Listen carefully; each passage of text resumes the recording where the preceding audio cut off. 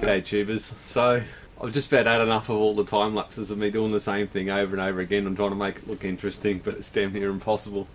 I got plenty of hours, and as you'd imagine, there's a lot of hours of work that's gone into making this look decent. And you know, there's a bit, bit of learning there involved, and probably a few mistakes that I won't admit to. But here it goes. I'm going to try and give you a bit of a rundown. So obviously, I've got the, um, the BMS all set up. We've got the old inverter. Um, now this is the, my very first PIP 2424HS and the gentleman that I sold it to hasn't used it yet.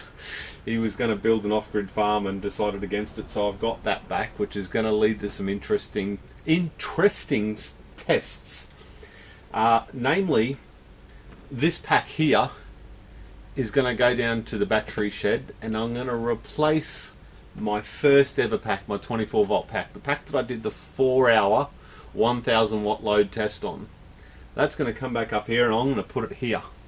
And then I'm going to use that as the basis of a whole heap of is it worth it tests. So I can do a couple of four hour live feeds again if people want to actually sit through that again, which I sincerely doubt. Um, but I can, I can I can run that same pack all over again six months down the track. It's six months shortly, I think. So that's going to be a really cool test coming moving forward in the next couple of weeks. But I am going to start. Um, I've got 14 long Longmons. I've got seven of them set up here, so I want to take them down and start actually. They're pointless here. They're cool because I'm learning stuff, but I need them down in the shed. I need them working. I need them put into a real life situations. So I'm going to do that as soon as possible. If you can see the little software, the Batrium software here, you can see the red bits. Now, this has got no external power going to it whatsoever. It's all self-contained. So the BMS is running directly off the batteries, and as I said in other videos, um, I had it running off 12 volt. Now it's running off what is it, 27 and a half volts, and it'll do it'll do my it'll do 60 volts without a problem as well. So there's no need to actually grab a second power supply from that. So it's highly efficient, um, just positive and negative, and way it goes. Now at the moment, I've actually got it running the negative terminal here where I should have wired it after the shunt. So I could have actually seen how much power that um, device used. I'm not changing it now. Um, but as you can see on the screen, we've got the red bits here. Now that's actually discharging at 1.7 amps and the red bits change. So because I've got the shunt with the Longmons and the Watchmon, what the Watchmon is saying is we've got idle time so we've got nothing charging and nothing discharging. So what it's doing is saying, ah, stuff it. I'm gonna I'm gonna balance out the batteries. Now in real world, we're always giving and taking from the batteries. There's never really an idle moment. So this isn't going to come into play all the time. However, it is awfully cool that it's happening now, so I can balance the pack before I put it down there. Um, once I add the pip to it and um, ask the Sparky to come around and actually give me 240 volt to it, I can actually charge this up to the same voltages down there and put it in fairly well matching. So that'll be great. You can see it sort of changing around. Now what this is actually doing is, I've got the software set up in here that these Longmons are only operating for 25 seconds. So they're doing 1.7 amps for 25 seconds and then they turn off again. Now what that does is it stops them from overheating and gives each one time to cool down. And if you've noticed, number three hasn't come on at all because that, that cell is actually at 3.86 volts. So what this will do is this will drag the batteries down to that voltage. Um, also, I talked about doing these cells,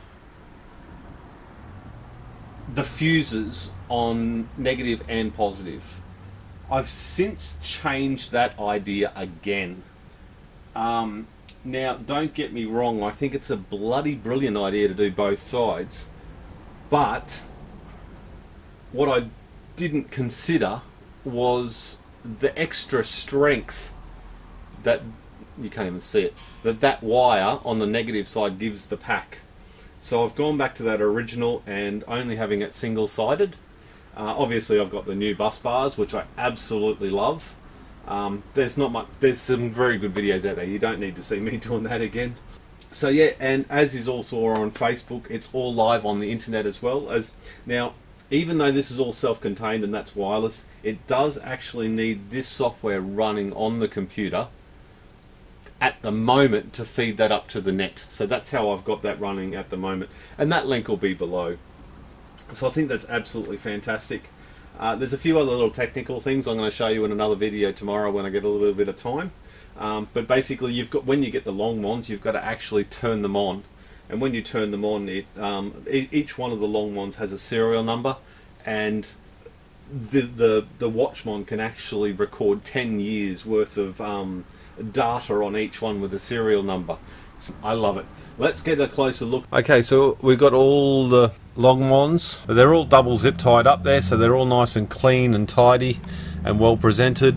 They're secure, they're not going anywhere. Uh, all the all the cables up the top are all looped through nice and neat and tidy, and they're all braided uh, with heat shrink at each end, so they're nice and well protected. Uh, I got all the heat shrink all the way up to here, so this one here is responsible for controlling the shunt. Um, and I've got a little bit of wire there that should be tucked away. now, that's the that's the blue one's the negative cable down to the negative side and the positives here. Now I know it's not ideal not having the same length of um, cable on the positive and negative, but it's not really a reality and it doesn't really it doesn't work in the real world. Let's face it especially if you want to look nice. And I am kind of proud about how that's turned out. I do need to tie tie that in so it's not all hanging, but I've got to go and get stuff to do that. Now, there's also one more thing that I have to do. Um, this little bit comes off the side. Uh, move that across.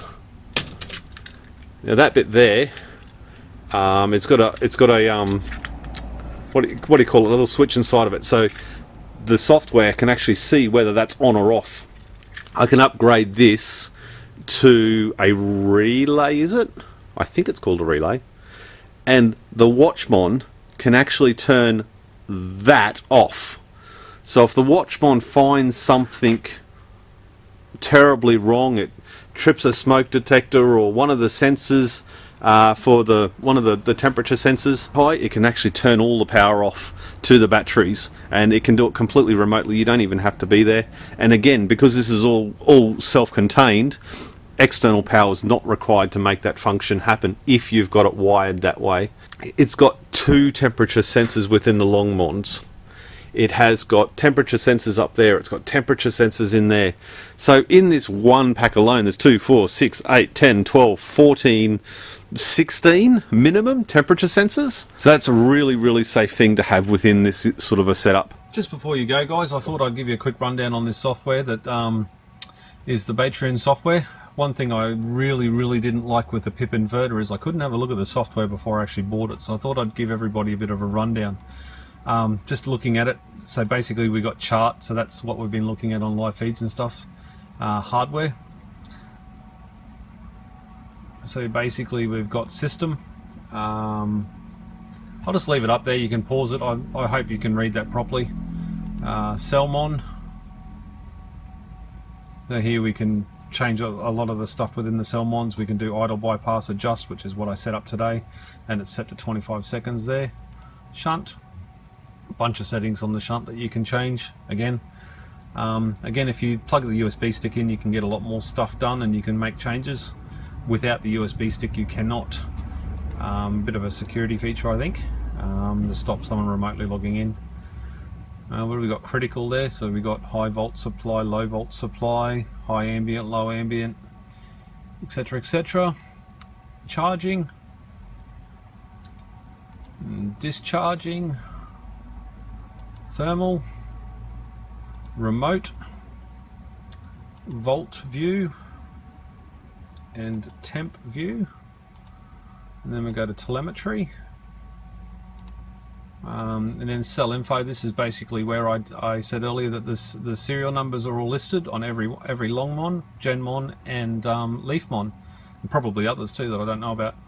Um, but basically you can see here 19 amp hours have been bypassed, has been burnt off as heat or wasted I think some people have actually said.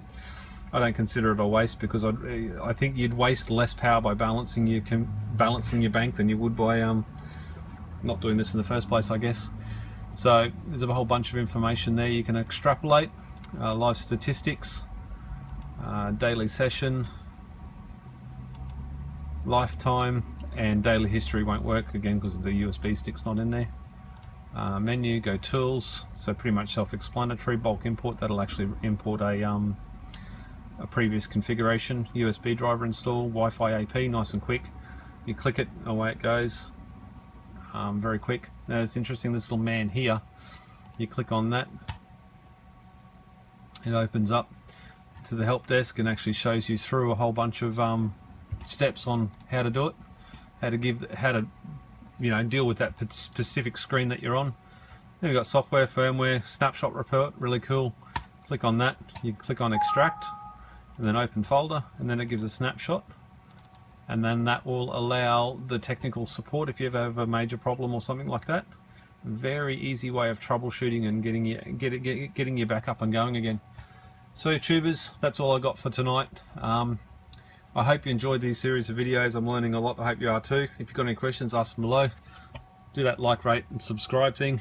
And I'll see you on the next one. Cheers, eh?